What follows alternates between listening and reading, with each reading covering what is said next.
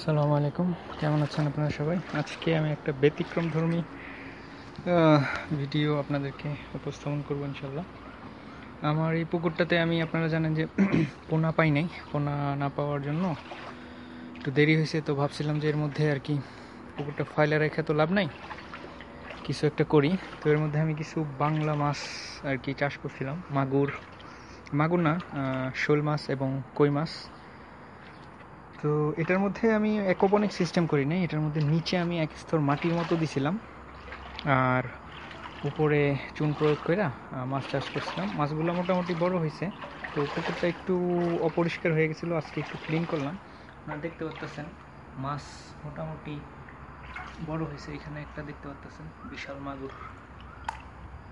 এটা শোল মাছ। এটা অনেক বড়। অনেক ঝাটকি মারে। দেখতে পাচ্ছেন অনেক বড় শৈল মাছ। আরও অনেক মাছ আছে। এই যে আরেকটা শৈল মাছ, এগুলো বড় আছে অনেক। শৈল মাছ।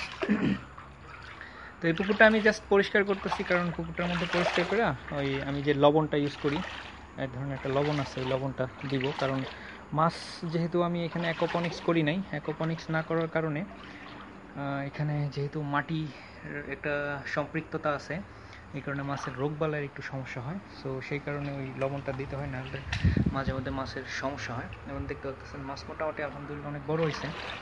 তো এগুলো আমি হয়তো বা কিছুদিন পরে হারভেস্ট করব। যখন আমি পোনা পাওয়া যাব, এর আগে হয়তো আমি হারভেস্ট করব।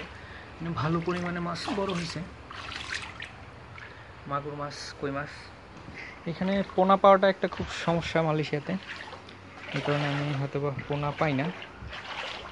তো এই ভিডিওটা অ্যাকোপনিক্স সিস্টেমে না, এটা জাস্ট আমি একটা, যেহেতু পুকুরটা পইরা আসছিল জাস্ট একটা ইউজ করলাম।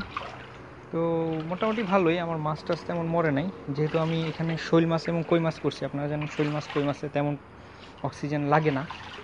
এটা মানে খুব প্রতিকূল পরিবেশেও বড় হইতে পারে। তো আশা করি আপনাদের আমার ভিডিওটা ভালো লাগবে। আর আমার ভিডিও ভালো লাগলে অবশ্যই সাবস্ক্রাইব করবেন।